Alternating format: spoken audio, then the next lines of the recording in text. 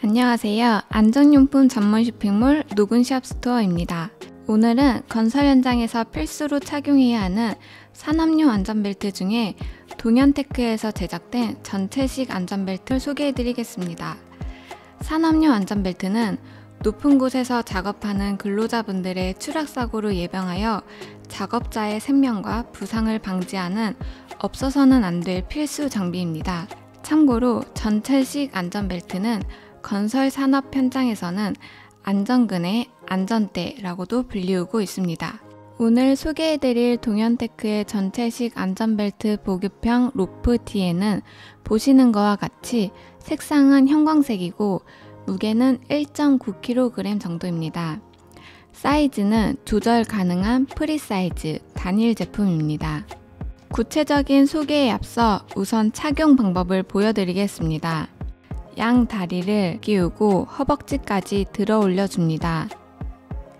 안전벨트 어깨끈을 양 어깨에 착용해 주세요. 가슴 조임줄을 체결 후 자신의 몸에 맞게 조절해 주시면 됩니다.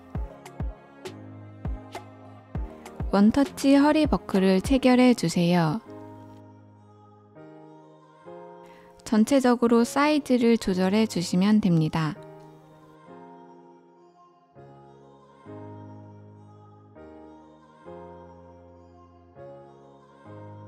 디링의 잼줄, 카라비너라고도 합니다. 잼줄을 체결합니다. 훅을 고정시키면 전체식 안전벨트 착용이 끝납니다.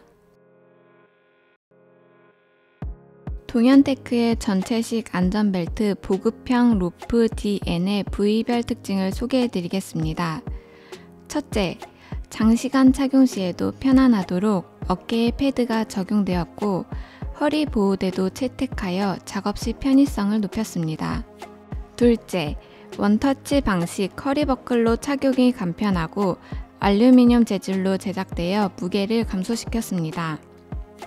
셋째, 소형 공구 파우치가 있어 작업 시 필요한 공구를 항시 수납할 수 있습니다.